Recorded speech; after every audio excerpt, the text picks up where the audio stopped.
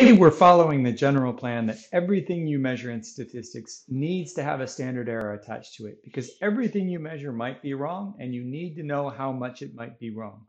We're going to do two more examples, one equal to the previous example and another example of poverty rates so that we can review standard errors for proportions. And then we're going to put them together to talk about the standard error for a difference of two proportions. Everything we say about a standard error for a difference of two proportions will also apply to a standard error for a difference of two means. So let's review our New York example. We have poverty rates in New York and now late, and now also in Pennsylvania. We have 150 out of 1,000 surveyed are living in poverty. That produces a probability, a proportion, which is a sample proportion of 15%. The standard error for a proportion does not follow the formula sigma over the square root of n. It follows the formula p times 1 minus p over n square root. And that, when we plug in uh, 0.15 for p and 1,000 for n, gives us 0.0113 or 1.13%. The confidence interval that we can make out of that is 15% plus or minus double this value, which is a confidence interval from 12.74% to 17.26%, which essentially means that from this information, 150 out of 1,000 surveyed, we can confidently conclude that out of the many millions of people in New York, somewhere between 12.74 and 17.26% of them are in poverty. That's our that's our, our confident conclusion here, and our level of confidence in that conclusion is 95%. If we're sort of 5% willing to possibly be wrong, then this is an appropriate level uh, for us to report. Now, I'm going to repeat this example for different numbers in Pennsylvania, just in order to show how that works, and then we're going to start putting these things together. So let's imagine hypothetically that also that in Pennsylvania, we also measured a 1,000. We sampled a 1,000 people, and we got 110 um, who reported living in poverty. So that's 11, that's 0.11, which is 11%. And that 0.11 is the value of P that can be plugged into the formula for the standard error for that proportion. And when we plug this in, we'll get 0.0099. That's just, just shy of 1%. So just about 1% there. Then uh, the confidence interval is going to be 11% plus or minus just about 2%. And that'll give us a confidence interval that goes that stretches from 9% to 13%, more or less, 9.02 to 12.97.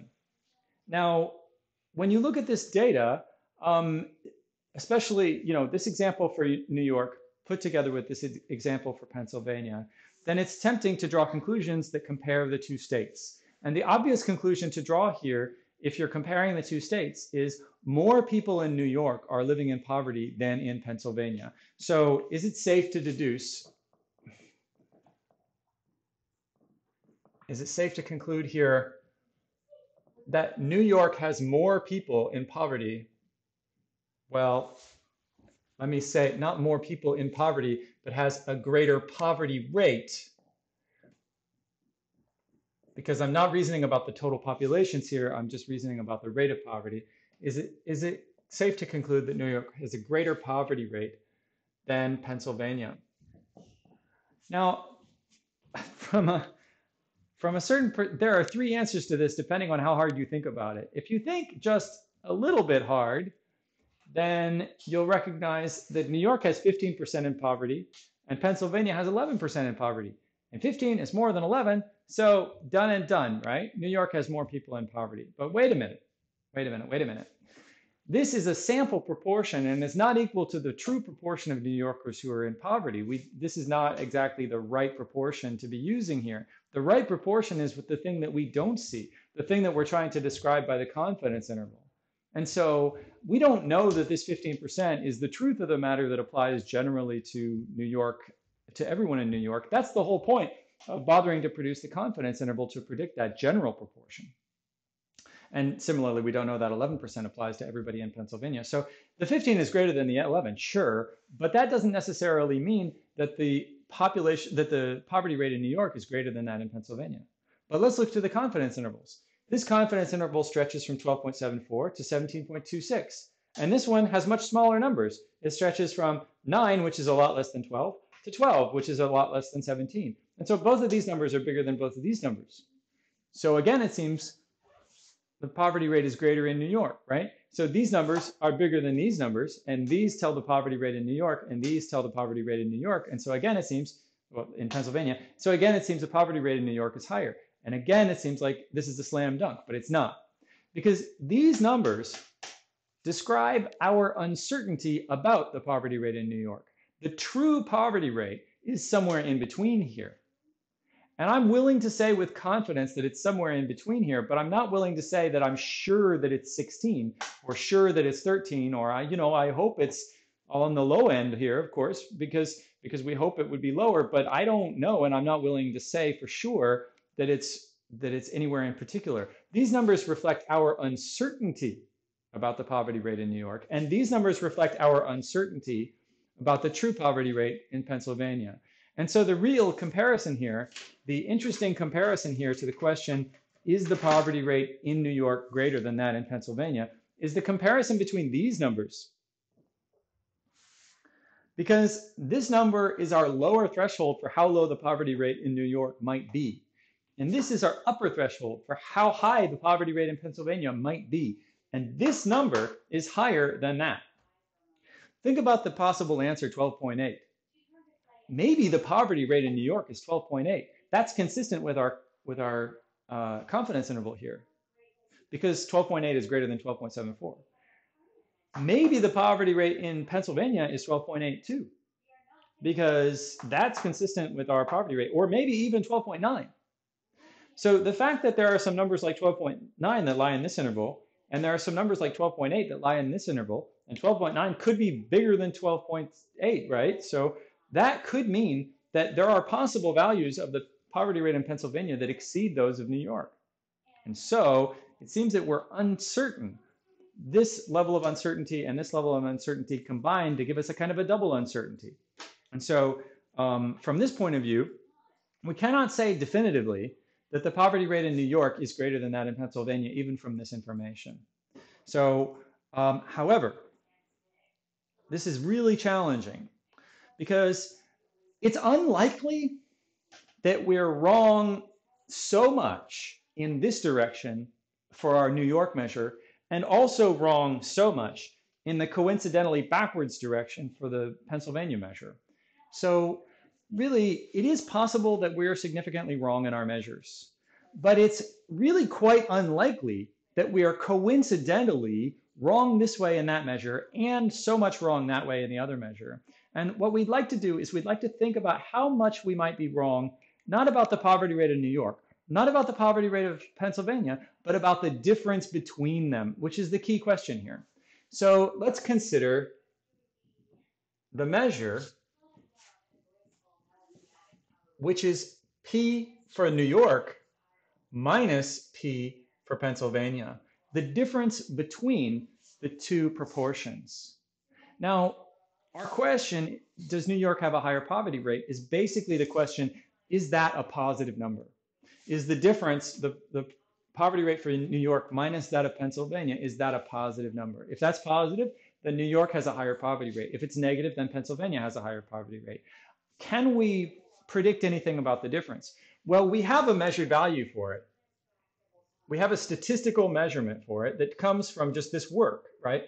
Um, so we already have a statistical measure, and it is uh, 15% minus 11%, which is 4%. So does that mean the poverty rate in New York is higher? No. That's just our measure of it, but we don't know that the measure is completely right. We don't know that that's the truth of the matter. So what we have to do is we have to take that measure and we have to reason about the possibility of the error in that measure. You see, this is a combined measurement. We've measured one thing, we've measured the other thing. One thing is subject to its error, the other thing is subject to its error, and we need to somehow combine that into a combined error to analyze how much error are we likely to see in the difference between these two things. So when you can measure one thing with its error and when you can measure another thing with its error, how do you take these two measures and combine them and figure out the error for the combination? And so uh, what we need is a formula for combining the standard errors.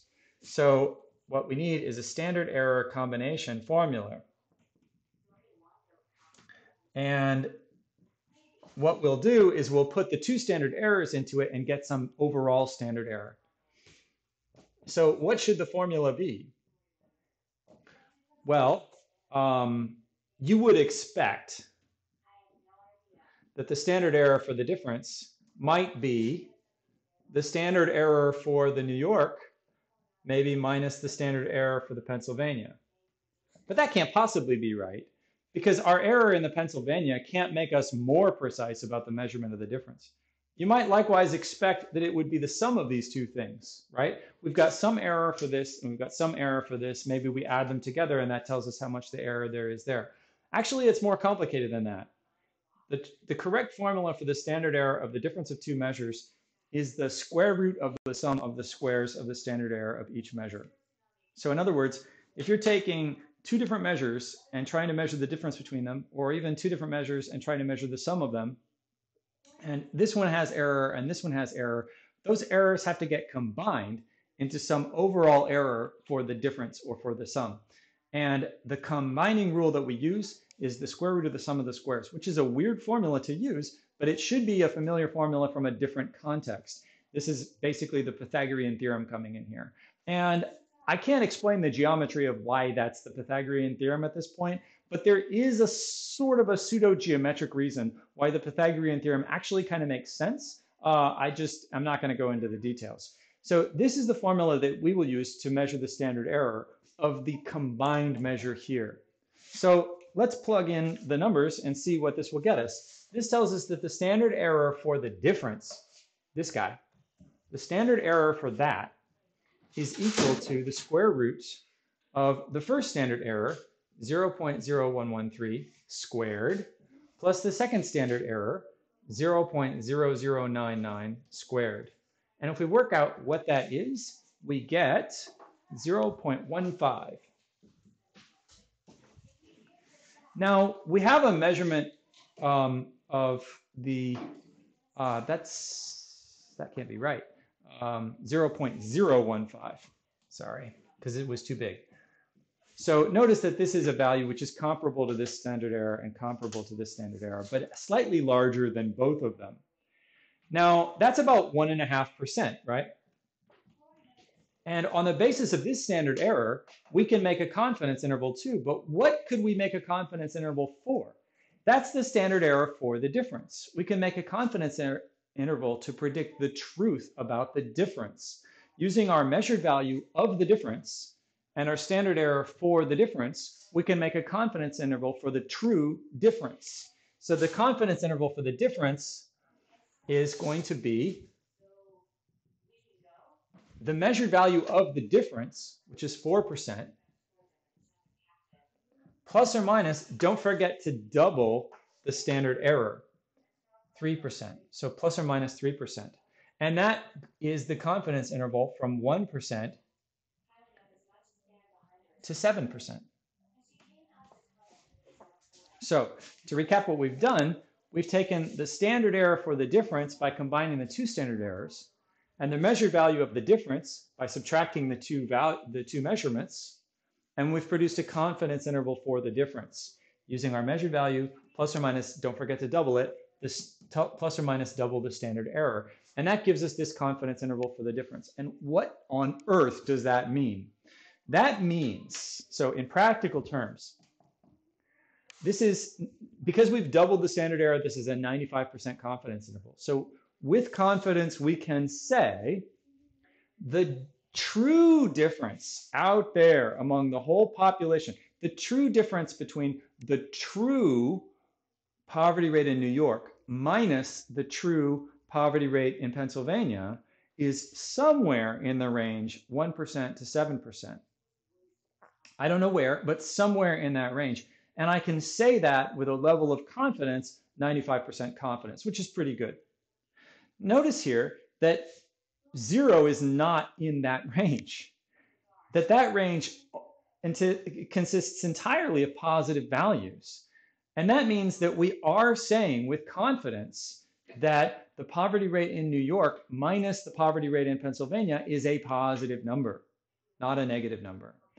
And that, that reflects a certain confidence that, yes, indeed, we can say with this 95% level of confidence that the poverty rate in New York is higher than that in Pennsylvania. So we can conclude as a sort of a side effect here that we do actually have enough information to deduce that the poverty rate in New York is higher than that in Pennsylvania.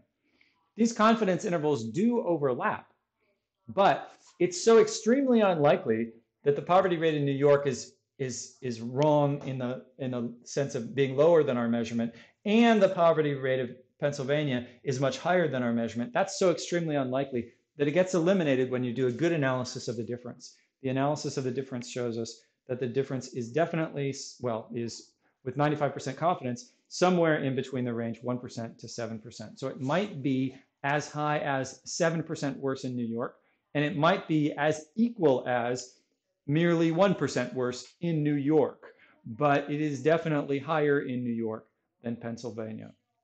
So it all hinges on our ability to use this formula to combine standard errors uh, into a standard error for a difference. Now, in the next example, we'll see, we're going to do a standard error for a difference not of two proportions, but a standard error for a difference of two means. And we'll see that the exact same formula saves the day for us and allows us to make a confidence interval for the difference of two means.